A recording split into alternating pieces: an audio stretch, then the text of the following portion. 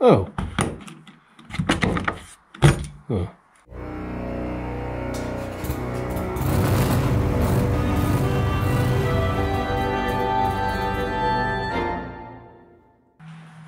Hi guys, welcome back to the channel. Welcome back to a, another video on Project Vinny, our 2004 Vivaro. Uh, today we're going to be looking at the door lock because ultimately I have a one key which was supplied with the van, which works. Yarp. But it does not lock or unlock the door it just misses so the problem with this is if you ever get locked or if your battery ever goes flat it's under there it's not underneath well it is underneath there ultimately but not underneath my window scraper so you've got to get in the van somehow to get to the battery and if you've only got one key that doesn't fit in the only door lock in the whole van, which is that one, you got to smash a window to get in. Which I don't want to do. So what I did, it's a little bit dark here, I do apologise. Alright, let's start this bit again. So I bought a lock set, which includes the door lock, the ignition lock. Now, this one, oh, got to use the right end, works lovely, see? Does exactly what it's supposed to. But this one has the common problem of, if I can get it to work, it doesn't return. It's supposed to spring back when you start, isn't it? And then it springs back. So that's what happened to this lock originally. This one, the lock, the key stuck on and the starter motor stayed on and it burnt out the starter motor. So that's why it's been replaced. So I can't, I was originally gonna swap this one it's not that good a key in there I can't even get it out now I'll have to fiddle with that oh there we go so originally I was going to swap the ignition and the door lock together and then change the key fob and keep the blade but because that one's not working I think all I'm going to do especially just for now is going to replace the door lock so, even, so if the battery does go flat, at least I can get into the van to get to the battery. So to do that, I'm just going to move you. Oh, excuse me. And move the light. Got to take the door panel off. So to get this panel off, we've got a T25 there. Oh no, sorry, a T20, T20, a T30 in there, and a T30 down in the handle and then there's loads of pop clips all the way around which you have to pop off. Oh, not forgetting, got to take the handle off which I remember, if I remember rightly, you just got to give it a bit of a lever and it'll pop off. I'll set you up and we'll quickly do that.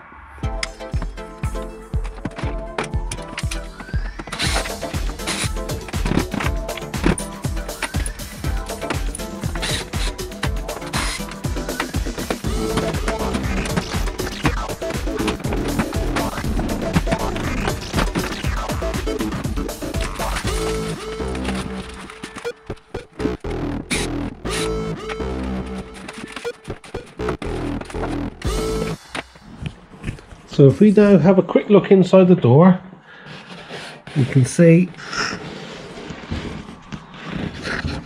there's the lock mechanism, there's the handle on that side.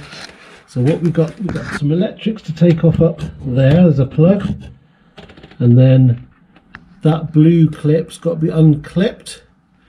And then if you look down behind there, can you see it? There's a little yellow clip. Can you see the yellow clip? Just right at the very back trying to get it in the middle of the screen. There's a little yellow clip we've got to pop off there. And then we should by taking those out be able to take that lock out. Can you see from ah, let's get that. There you go.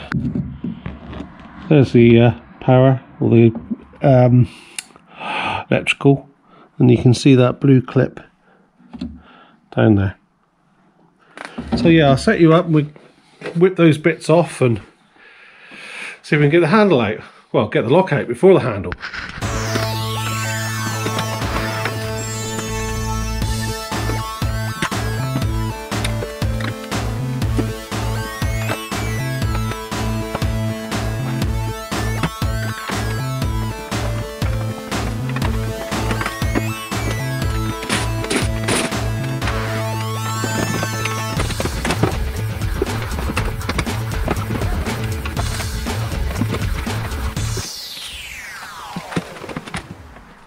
It took a bit of finagling around, but we got there. So now, hopefully we can see the two bolts in there. Can you see there's one bolt there and another bolt through that hole there. Or say bolt nut. So it looks like a couple of 10 mils and I think you can access, yeah, you can access that one through that hole and that one through that hole. There. Jubbly let's do that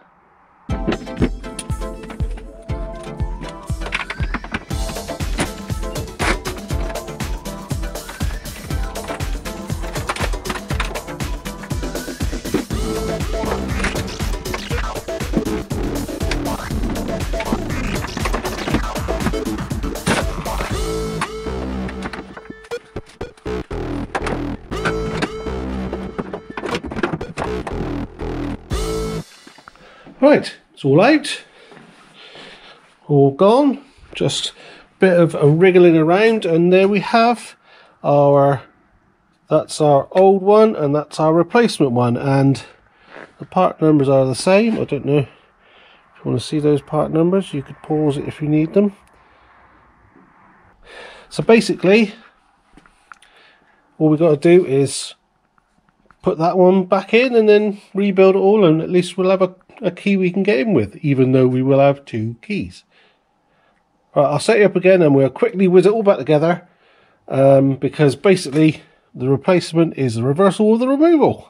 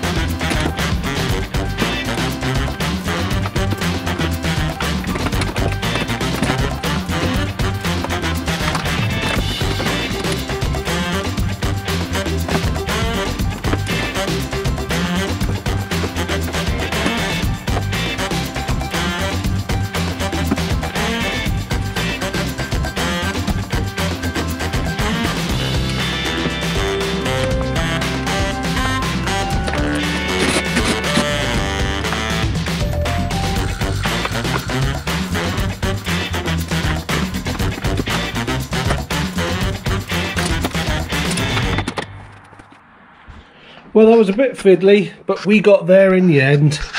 Hardest thing is getting your hands in there and doing that little blue clip and getting the yellow yellow clip at the bottom in. I think that was the hardest thing. And also, the rod, when I put it in for that blue clip, was pointing upwards. That's why I had to slide it back out again. But yeah, it all works if I light in there. Hopefully you'll be able to see when you see all the mechanism working and I'll turn the key. See it down there? So yeah that's good.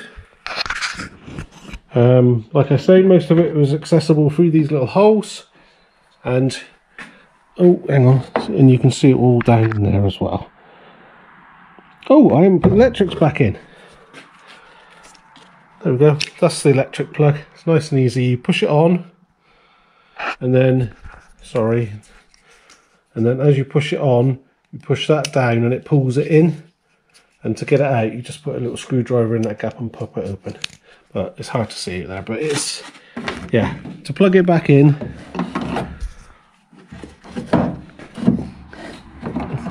I don't know if you even see this. Probably not. How about that? See it goes on there. Just got to pop that on press it down, and it's there. Sorted. And to check we're working, we'll uh, pretend to shut the door and then pull handle. She opens, shut it again, lock it, and then that's good. And I think, yeah, that's gone down as well. So then when we open, should be able to go. Yeah, all good. Excellente. So now, just got to put the panel back on basically. Oh, and these two little bungs. And if you do like what we're doing here and found it of some use and would like to help the channel grow, please give us a thumbs up. And I forgot to mention about this plastic thing which just slips in here. And there's two little push clips. Two little push clips just go in there and there. Even though I can't do it. There.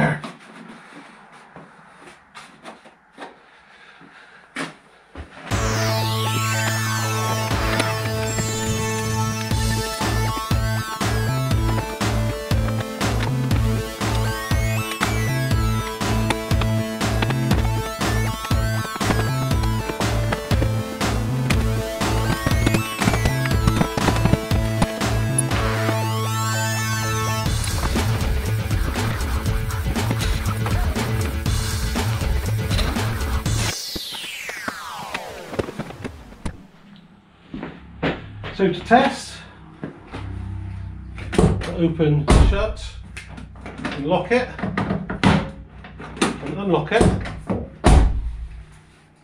With the key, we can lock it, and we can unlock it.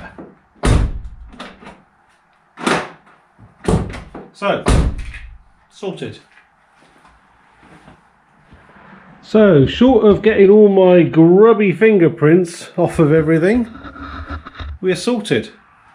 And I'm pleased with that. I know it's not an ideal situation having two keys, but I think what I'll do is I'll get um, a key cut which hasn't got a fob on it, so it's a lot smaller. Um, you know, one with just a plastic key, and uh, ultimately, if we if the battery goes flat, we can get in. I mean, yeah, I know. I, I know it's not perfect and it's not the outcome I would have wanted. But if the battery goes flat at the moment, I've either got to smash a window or I've got to call a, uh, a locksmith, which I don't know how much that's going to cost. And I need to get another one of these, so I'm going to spend a bit of money getting a spare key because I lost this key. this week. Um, I found it eventually, obviously, because I got it here. But that made me think, I need to get a spare key. So that's what we're going to do. Anyway, waffling aside, we're sorted. It's another little job done.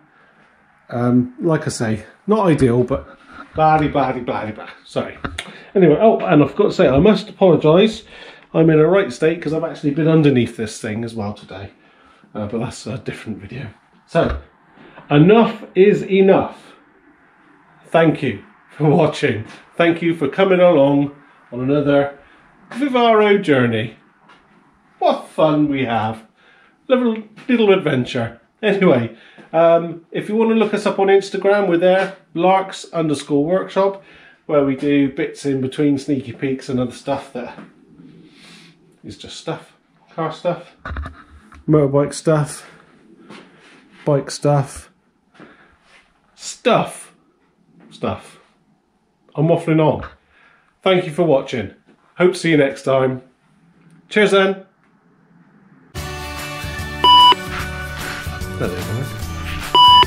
Please give us a thumbs up. And I get it right one day. And found it of some uh, informative. Oh god. Who's a grubby bugger then?